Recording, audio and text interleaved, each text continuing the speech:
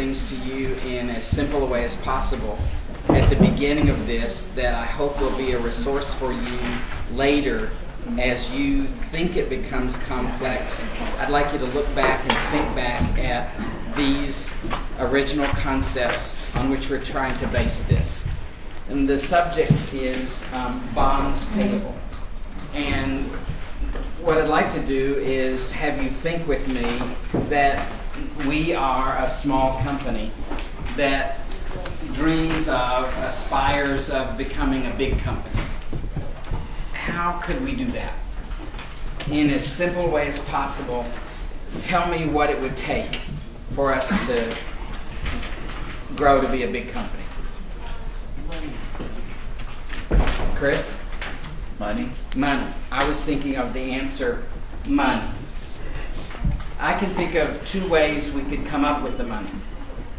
We could get it from owners. Hasn't that been our main theme this semester? Haven't we had partners invest in the business and we accounted for it? And hadn't didn't we spend two chapters talking about corporations and having owners invest in the business and get money to undergird the company, to found it, to operate it successfully? I see some people nodding your heads, and I appreciate that. We've been down that path.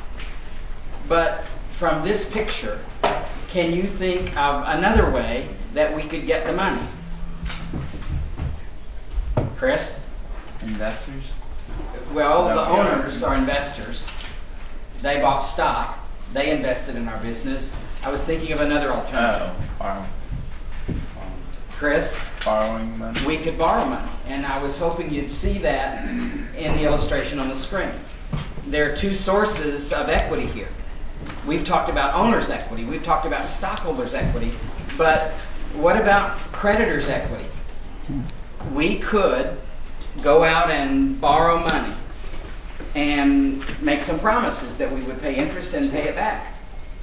They're not the long term equity that owners are, shareholders' equity, but we could nonetheless depend upon financing our company that way.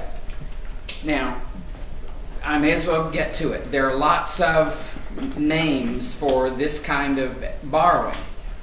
As individuals, when we go and buy a car and finance it, we call that notes payable.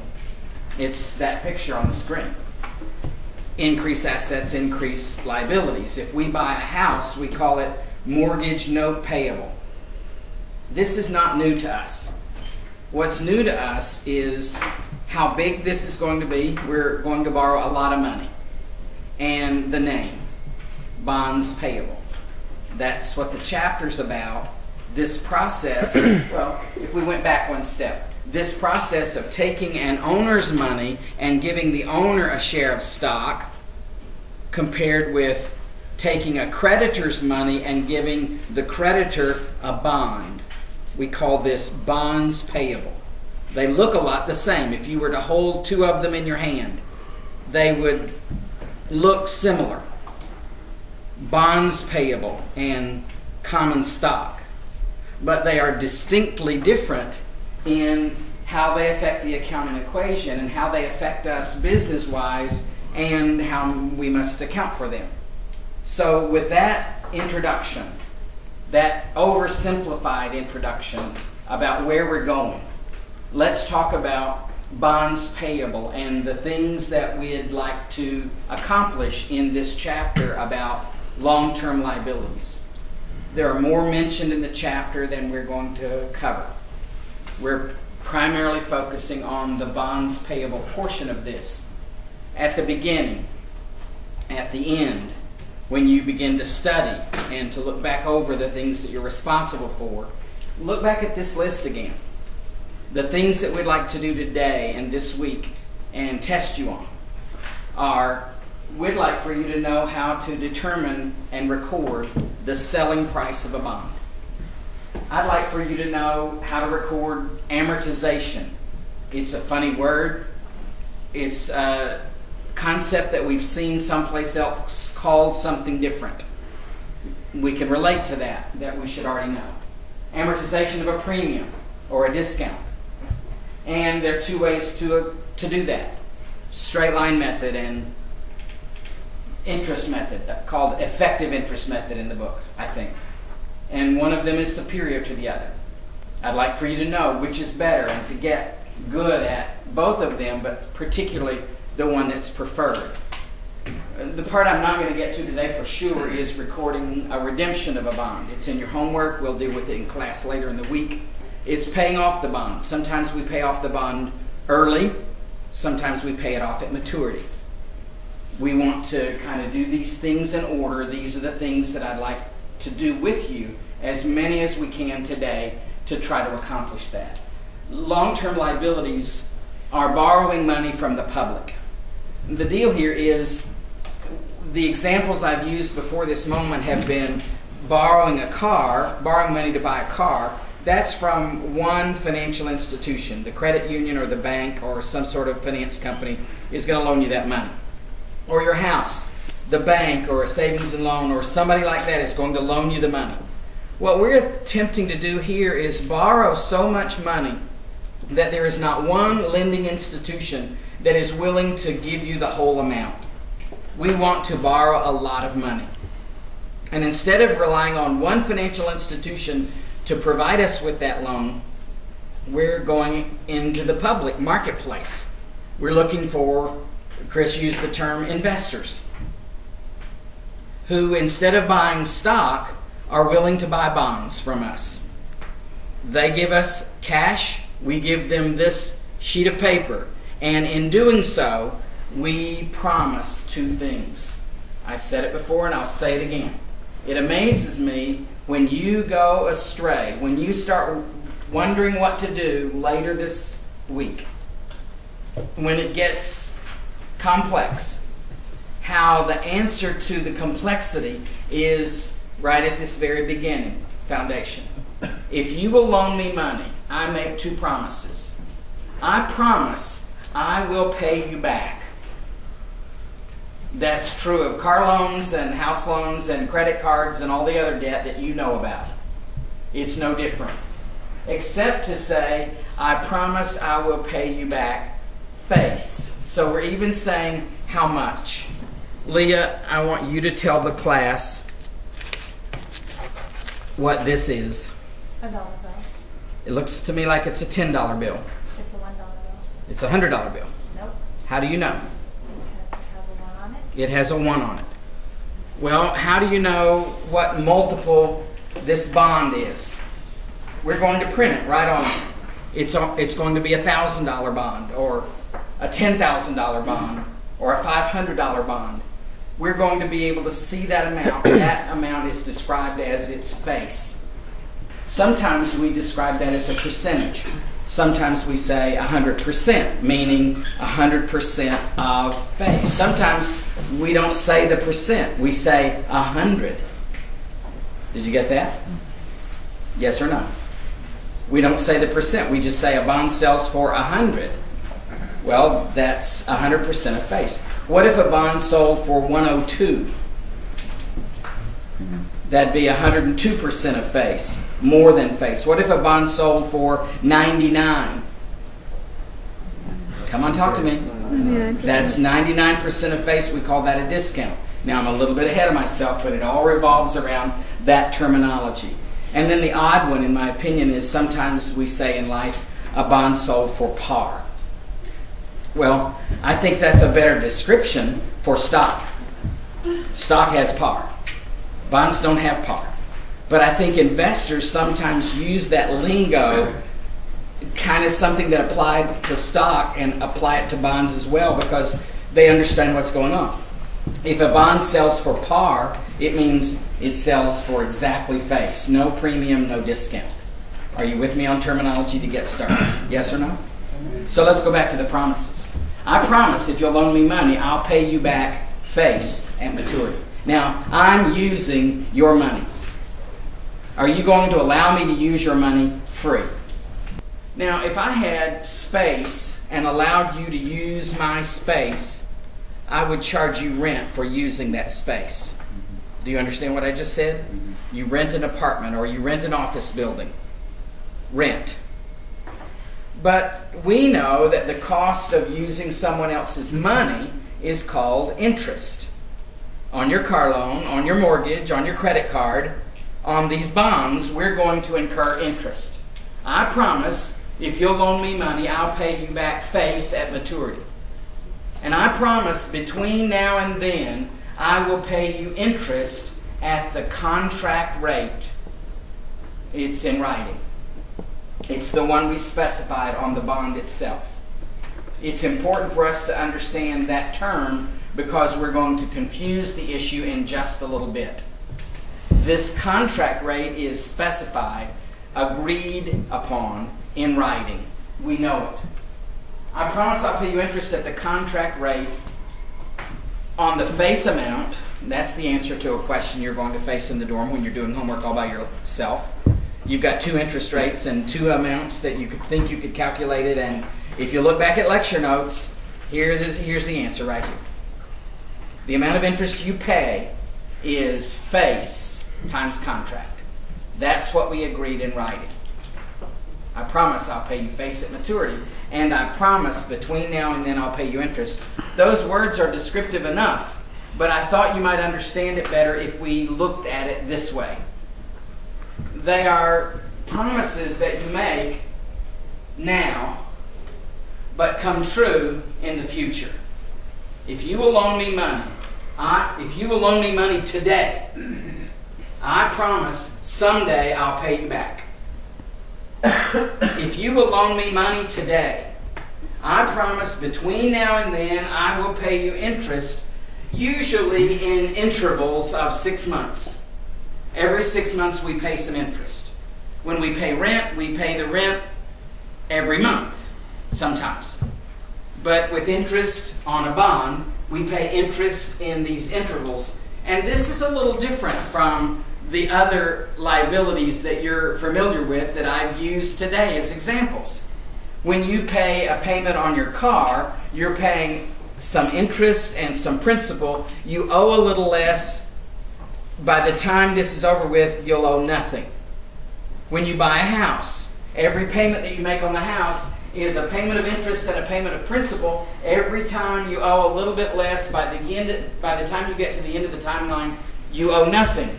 Is that what this picture says? Bonds are different. We're going to get to employ the full amount. You loan me money, I'm going to spend it on my project. And then I'm going to begin accumulating money to try to pay you off at the end. I am not making payments on the principal throughout this process. Do you see that on the screen? If you loan me money, I'll pay you back face at maturity. I just make one payment on the principal five years from now, or 10 years from now, or 20 years from now. But in the meantime, I rent your money, if you want to look at it that way. I'm using your money and I'm only paying you for the cost of using your money. I'm not paying any of the principal. And it helps us in the calculations and the concepts we're trying to portray by making that assumption, by using this as an example. We're going to pay all the principal at the end, and we're going to pay interest in the meantime. Now, we've used some of these adjectives already, but I want you to know that there's more than one way to describe what's happening. You've heard us say contract rate. Some people say the stated amount of interest. Sometimes they say the coupon rate of interest. That came about because sometimes we would print the bond but we would print on the side of the bond, attached to the bond, perforated, negotiable instruments that you would think of as checks. And when that interest became due, we would literally tear that off like a coupon and take it to the bank, and the teller at the bank knew what it was. We wouldn't have to wait until the corporation mailed us the check. We could go to the bank and deposit that in our bank account. It was a negotiable thing that they could run through the Federal Reserve System and actually get the money. Hmm. That's where the rate, coup, the, the term coupon rate came about. It's the amount stated on the bond. We call it contract most often. It's called other names. That's all one idea, one thing, called called different things, but all meaning the same thing. Compared with the market rate of interest, which is determined by the influences in the society, the economic conditions, the inflation rate, the policies of the Federal Reserve System, the general health of the economy, and all sorts of other things affect the price at which a share of stock sells in the marketplace. We never talked about it. We should have a little bit. It wasn't our primary motivation. And now bonds. Once I've raised your awareness level, if you would listen to business reports, TV, radio, look in the newspaper, you might see this discussion and be more aware of it that interest rates are an important part of our economics economic condition in the country. The price at which a bond sells will be determined by the demands that the investors, the expectations of the, the, the investors in the marketplace. Now, when these two numbers are the same, no problem. I want to rent your money. How much do you want for it? You want X dollars for it? I'm willing to pay that. We've got a deal. Y'all do understand when I say rent your money, I'm just using that as an expression, don't you? You're going to let me use your money, I'm going to pay you for it. But what if the investor wants more than I wrote on my bond?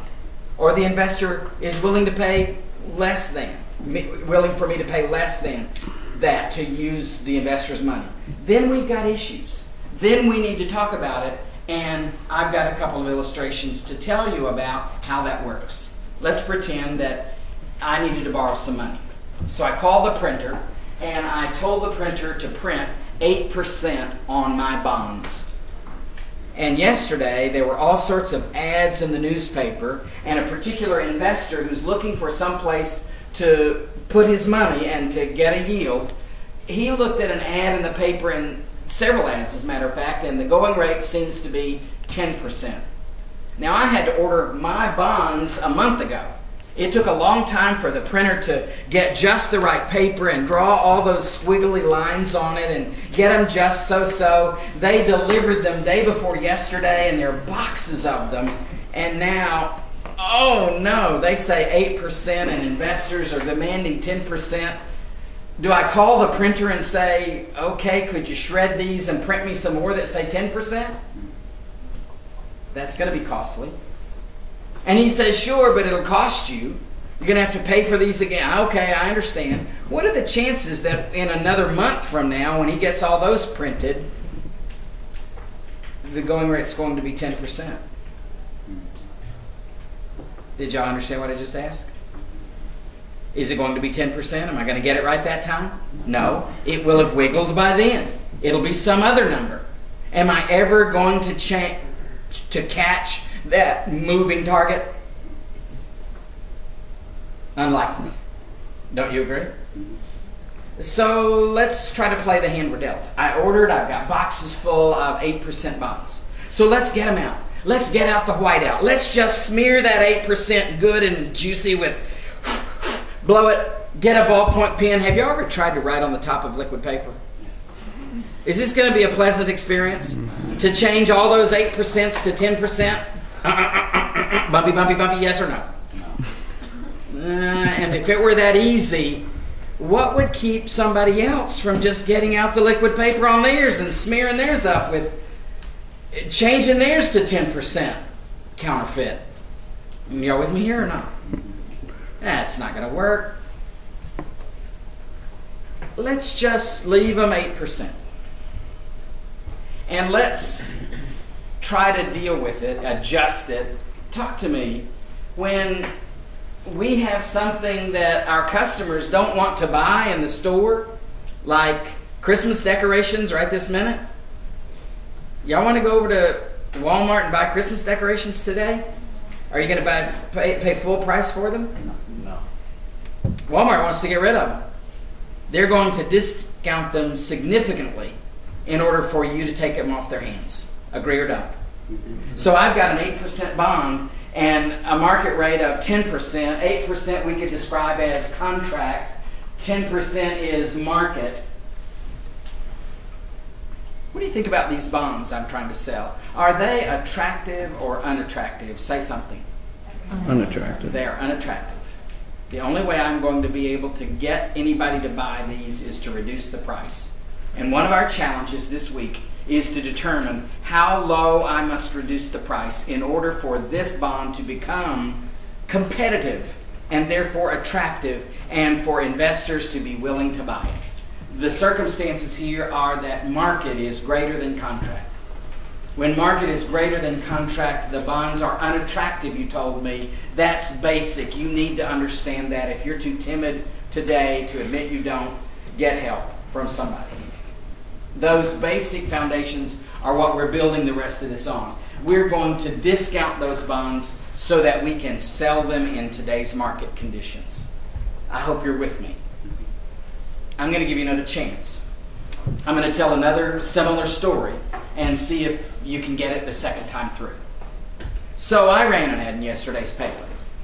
And I said this afternoon at 2:30 in the pit area outside room 5114 in the Graduate Center at 81st and Lewis, we'll be selling 12% bonds. And the investor who opened up yesterday's newspaper saw a whole lot of 10% ads, but ours caught his attention. He can invest in our bonds and make 12%. Did y'all notice the crowd gathering outside when you were on your way to class today? I think I can hear them murmuring outside in the hallway right now. In fact, if I were to run up there and look out that door and just see how many people are gathering in that pit area, I think we've got more people out there than we have bonds for sale. Any good ideas? I hope I heard somebody say, raise the price. Yes or no? I've got bonds that are attractive or unattractive. The contract rate and the market rate of interest have a relationship such that these bonds are desirable. Contract's greater than market this time. We can raise the price. One of the quests we're on this week is how high can we go before we lose this competitiveness that we've established? This attractiveness. These bonds are attractive and they're going to sell at a premium. We can raise the price. One of our tasks, if you glance back at where the objectives were written, one of the tasks was to determine the sales price of a bond. I'd like for us to do that before we leave the room today. It's in one of your homework problems for next time, for, for late in the week, for second discussion. You need to learn how to determine the sales price of a bond. If you were to see this image on, not, not the image, but what it represents on a playground, what would you call this? Seesaw. Some say teeter totter, others say Seesaw. seesaw. I say seesaw. You know what I'm talking about, don't you? If your major used to be engineering, what did you call this? Your mumblers. A fulcrum? Is that a fulcrum, yes or no? Yes. Uh, Take my word for it. it's a fulcrum. So let's make it a seesaw. No, no, let's make it something that's descriptive of the unique relationship that bonds have that we're trying to convey to you. Let's read it from left to right. When the contract rate of interest and the market rate of interest are exactly the same, when the investor says he how much he wants to make on this bond and we're paying exactly that much interest, we can strike a deal without any adjustment. When the contract rate of interest and the market rate of interest are exactly the same, the bond will sell for face. Now, I'm hoping you knew that before I showed you that graphic. I want you to think about it one more time. I said it a second ago, but you need to know and understand this. So, investors want 10%. I'm willing to pay 10%. That was a match. We've got a deal. We don't need to make any calculations. We don't need to raise anything or lower anything. Do you understand what I said? Yes or no? So you're looking for an apartment to rent. They want $400 for the apartment. You think that's a fair deal. You sign the lease. Yes? Uh, that's what I'm talking about. When contract and market are the same, we've got an agreement. We're going to sell this for face. But can you anticipate what, what's going to happen when things change a bit? We'll get there. Let's pretend we sold it for that amount. We sold it for face. We're going to debit cash for the amount we received from the investors. They gave us money. We're borrowing money and we're promising we'll pay it back. I promise I will pay you back face at maturity. It's a credit to bonds payable, a brand, a brand new account. It's a liability. It's a long term liability. Its normal balance is credit. Now, today I've talked about investors' point of view and the corporation's point of view. But really, our whole perspective is borrower's point of view. We need money. We're borrowing it from the public. Lots of individual people bought bonds. The total amount was a big amount a million dollars, two million dollars, three million dollars. It's a lot of money that we're borrowing to accomplish this project that we have in mind. Let's change the circumstances. Read from left to right with me. When contract is greater than market, whoa, is our bond attractive or unattractive? Say something. Our interest rate is higher than they can get anyplace else. Then we can raise the price. The bond will sell for more than face. We've said that in another venue. It's just my attempt to get you to see it better here. When we sell a bond for more than face, we're going to get money and we're going to promise to pay it back. But the money we got was greater than the amount we're going to pay back. I'm going to make up numbers. So we borrowed a million and received 1.1 million. Are y'all with me or not? Yes? Debits and credits don't equal, and we're going to get them to equal by crediting premium on bonds payable for 100,000. Premium on bonds payable reminds me a little of freight in first semester. Freight in was a sub purchases account. Purchases balance was debit, freight in's balance was debit. We had already established a word for things that were the opposite, contra. But we had nothing to describe something that was the same where the two accounts were added together. Bonds payable is a long term liability. Premium has a credit balance like bonds payable does. If I'm going to prepare a balance sheet today, I'm going to add premium to bonds payable. Premium must be sub bonds payable. Did you hear it? Did you follow that? Yes or no? That's something we've done before. Showing it on the balance sheet is our ultimate goal. But let's talk about this balance of premium. They gave me a hundred thousand. Do I have to pay it back? Yes or no? You're supposed to know. I've said it in a different way earlier today in this room. Tell me, do I have to pay back the hundred thousand? No. Yes. I promise I will pay you back face. We established that at the beginning when we were talking in as simple a terms as possible. Do you remember that? Yes or no? Yeah. I promise I'll pay you back the million. I have no obligation to pay you this. Then what happens to that? Well, we're going to spend the million on a project and try to make money.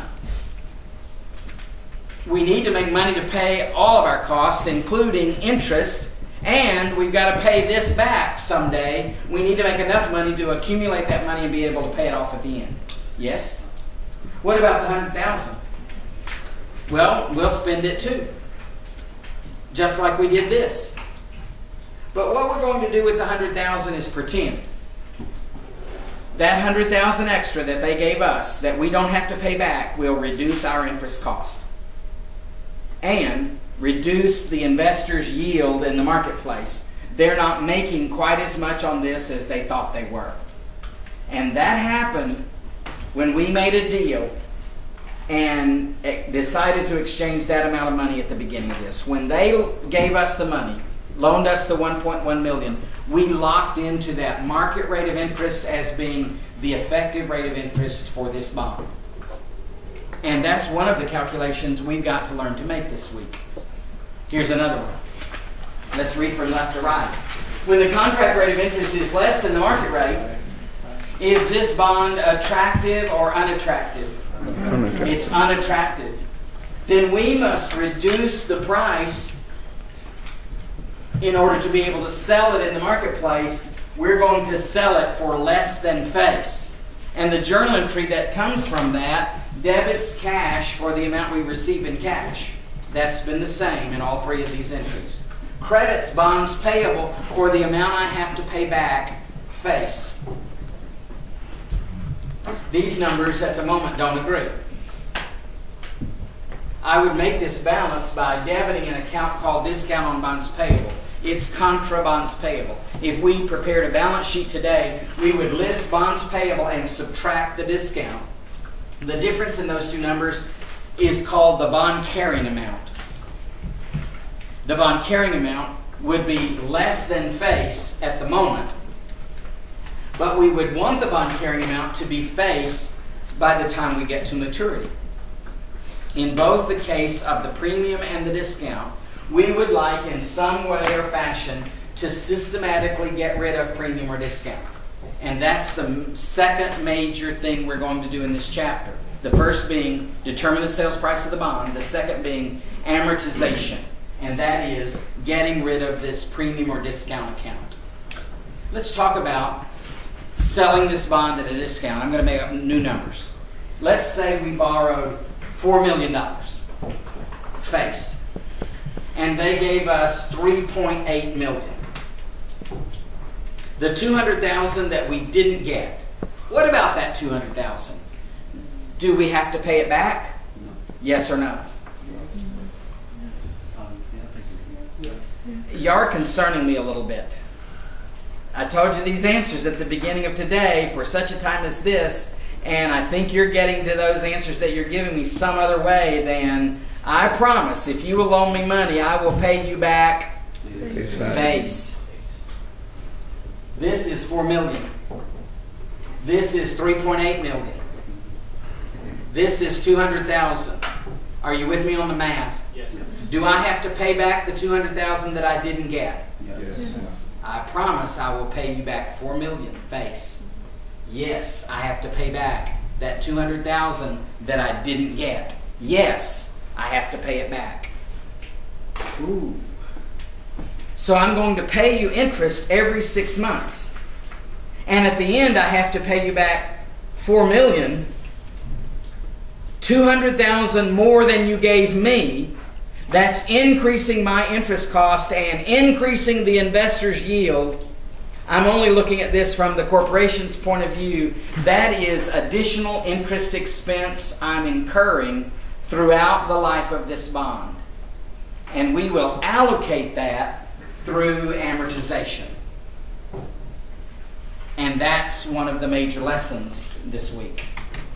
Here's a real ad I tore out of the paper years ago. It's old, but it's still relevant.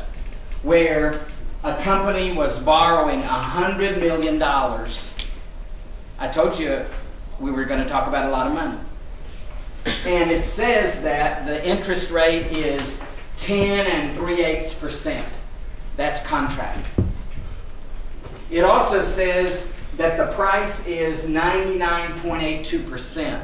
100 would be face. Sometimes we say 100%, sometimes we live off the percent signs. 100 would be face. 101 would be a premium. 98 would be a discount. Are y'all with me or not? Mm-hmm. Yes or no? What is 99.8? A premium or a discount? Knowing that, what can you tell me about the market rate of interest? If contract is 10.38 and we're selling this at a discount, we don't know the exact number. We can't calculate the exact number, but we can get a ball, ballpark relationship. Is this bond attractive or unattractive? It's unattractive if we had to discount it. The going rate in the marketplace must be greater than or less than 10 and 3 eighths. It has to be slightly greater than 10 and 3 eighths percent. We don't know the number for sure, but it had to be sold at a discount. It had to be unattractive. The market had to be greater than that contract. That's real life stuff we're talking about. So, I think someplace in your educational experience before you came to college, you were supposed to learn about interest, about the compounding of interest, about how if you put some money in a savings account and leave it there to work, you'll get more interest added to your account. And the next time they calculate the interest, they'll calculate it on what you put there and what it's earned. And the next time they calculate it, they'll put what you put there plus what you've earned in interest to determine the new interest. Are you familiar with this technique? Say yes or no. Yes. This is called compounding interest. I hope that if I gave you a problem and asked you to calculate a balance like this someplace down the line, that you could start there and work this direction and determine the amount of interest that had been earned. I hope that's a skill that you have and know about because I want to take that concept and teach you something from it. The biggest lesson of all in this chapter is called the time value of money. It's based on the premise that money will work for you if you put it to work, if you employ it. And this concept is perhaps the most important that we teach in business and is probably taught in more business classes than any other one concept. This is intended to be the introduction. If you've seen it someplace else, good. You bring some experience into this, good. But if you don't, it would be great for you to master the idea here so that you could apply it other places, in other courses, on the job, and in your personal life. The present value concept is an important one. So, what if you said, I wanted to have $5,000 in a savings account here? What would you have to put in a savings account here in order for it to grow to be that? This is an action you could control. That is something that's going to happen in the future. This idea is called present value because we want to take a future amount and bring it back to today. That idea of time value of money and determining the present value of money is going to be the way that we accomplish determining the sales price of the bond. We want to know the price at which a bond should sell, particularly when contract and market are not the same. When contract and market are not the same, we can determine the sales price of the bond by taking a future promise. Have you seen this image today already? Yes. Well, what I want to do, I want to show you how to do, is to take that future promise. I promise I will pay you back someday and bring that amount back to today. That would be the present value of the principal. I am going to pay you interest in six months and a year and a year and a half and two years. I would like to bring this number back to today that would be its present value. I would like to bring this number back to today and this number back to today and so forth. Bring each of those numbers. A bond will sell for the present value of face plus the present value of the interest. A bond will sell for the present value of face plus the present value of the interest. We'll compare that number and sell it for that number and make the journal entry for that number. A bond will sell for the present value of face plus the present value of the interest. Now, our big task is to find the numbers to support that, to be able to get those numbers to learn how to calculate present value. Here's an exercise we can use for this purpose and several others. Our company issued $260,000 of 9% 10 year bonds on January 1st for 243,799. This price resulted in an effective interest rate of 10% on the bonds. You need to decide which one of those numbers is contract And which one of those numbers is market? Have you decided? You need to look at the comparison between them and decide whether this is favorable or unfavorable. Say something. This bond is unfavorable because it's paying 9% and investors are demanding 10%. Is this bond attractive or unattractive? Unattractive. It's unattractive. This bond is going to sell for a discount. The question is, how low must we reduce the price in order for this bond to be competitive and be desirable in the marketplace? Read on. Interest is payable semi-annually on July 1st and January 1st. We use the effective interest method to amortize bond premium or discount because it's better. Interest is not accrued on June 30th. Prepare the journal entries to record the issuance of the bonds. Before we can do that, we need to determine the sales price of the bond. Before we can do that, we need to get the amount of one, one interest payment. You're supposed to know the formula. Principal times rate times time will determine interest. The principal of this bond was $260,000. The interest rate, uh oh, we got two choices 9% or 10%.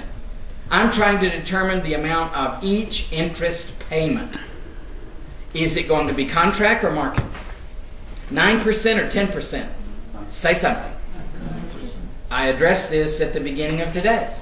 You're going to be in your dorm room working homework and wondering, oh, here's two interest rates. Which should I use? And it was at the very beginning of the class today. I promise I'll pay you back at maturity. I promise between now and then I'll pay you interest at the on the face amount at the contract or market contract rate, which was contract in this exercise nine percent or ten percent. Nine percent. It's nine percent. Two hundred sixty thousand times nine percent, expressed semi-annually. You can divide by two. You can multiply by 0.5. You can half the interest rate. I choose to illustrate it by saying six twelfths because to me that sounds like a year. I think when you look at cold notes, you're going to wonder why you divided by two, or wonder why you multiplied by half. When you look at cold notes and say six twelfths, it just sounds more like a portion of a year. The amount of each and every interest payment in this problem is $11,700. Now, I need that in a few minutes.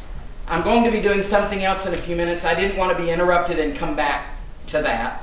I wanted to establish that. We will come back to it in a minute. I want to know the present value of the $260,000, and we're going to do that, we're going to find that by looking at the present value tables in the back of your book. If you've got a book with you today, get it out real quickly. There's a short table in the chapter. There's a longer, more deliberate table at the back of the book. If you brought one with you and somebody can share with you, that'd be great. It's in Appendix D in the back of the book, and the present value tables are on D4. Actually, there are two tables we're going to look at. The first of which is Table 1. This is what the whole thing looks like.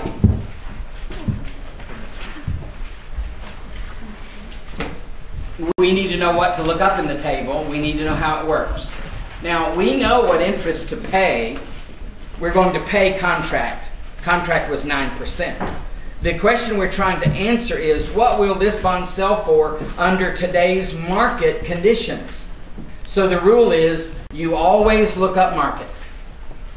We're looking up 10%. And we're doing it semi annually. So look up here a second.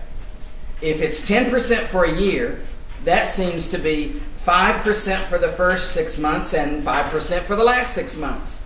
Does that seem reasonable? Yes or no? So I could provide for compounding of interest. Or let me say it differently. I could get close if I looked up 10%.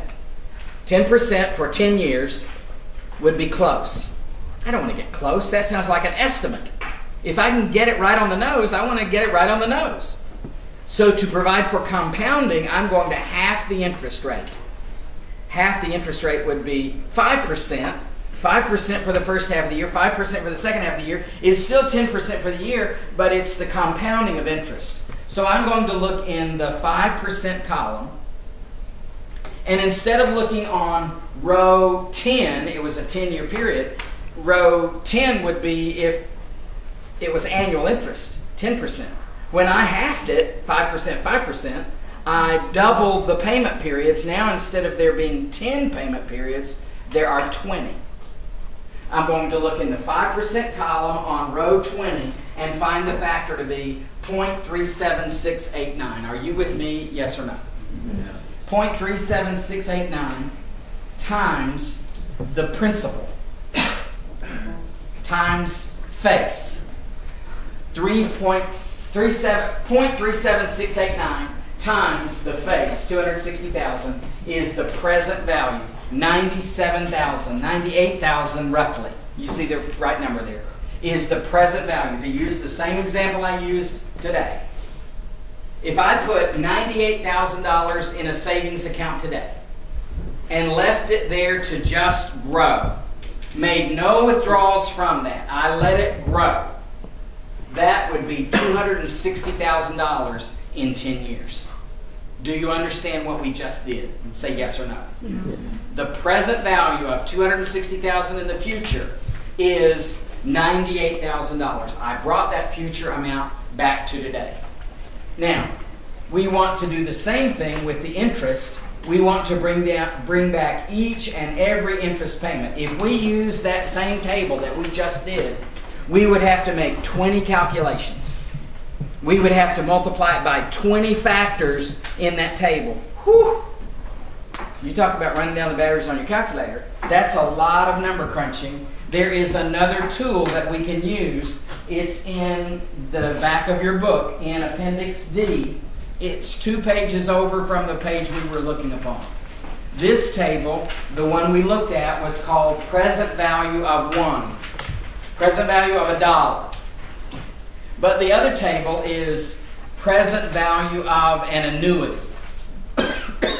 An annuity is something that happens over and over again.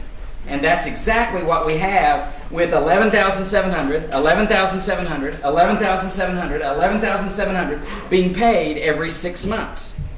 We can bring all those future amounts back to today in one fell swoop.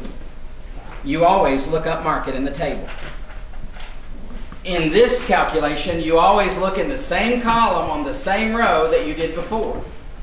It's 10%. 10% for 10 years would get us close. I'm not content to be close. I want to get it right on the nose. I want to allow for compounding. I'm going to half the interest rate. I'm going to look in the 5% column. And when I half the interest rate, I'm going to double the payment periods. In the 5% column on row 20, the factor is 12.46221. Are you with me or not? We can take one interest payment, 11,700.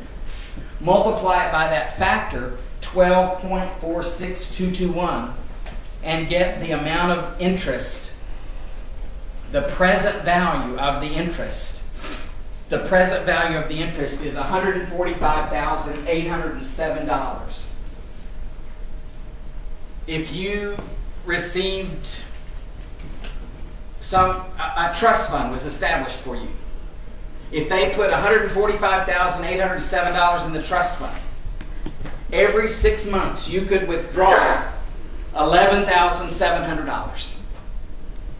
You could make 20 withdrawals from that fund. A bond will sell for the present value of the face plus the present value of the interest that number in this case is $243,799. Where have I seen that number before? Shall we read the exercise one more time? We sold bonds for second line, $243,799. It was there all the time. We just took 10 minutes to find a number that we were given. Are we going to be given that number in real life? No. We use that number as a check figure. And we were we know now how they got it. In one of your homework problems for next week, uh, for this week, late in the week, it says in the syllabus, you must present the determination of the selling price of the bond. The format that you just saw on the previous slide would be an acceptable way to do that. a separate sheet of paper or someplace in a D2L Excel document, you've got to explain how you use this present value factors to bring that number back to today. Today we've talked about making a journal entry. From this information, let's make the journal entry real quick. We would debit cash for the amount we just received. We would credit bonds payable with face. We got less than face. We make this entry balance by debiting discount $16,201. You know, I have never been able to finish this handout in class. I've always wanted to finish it, but it would take me first discussion to finish the rest of it. And now I'm not going to do this in first discussion. I'm going to ask you to see the video so that we can do something else in class. It's going to help you to give you another exposure. More than any other video I've put up there, I would like you to see this one. It picks up about where we left off. Actually, it goes back a little bit, recaps what we just did. Maybe you needed to hear it again. And then finishes this handout. It would be good for you to do it before you do your second two homework problems, but you would understand what goes on in first discussion better if you would do it before you come to first discussion. I hope you'll see it sometime this week. For your sake, I think it'll do you good. Have a nice day.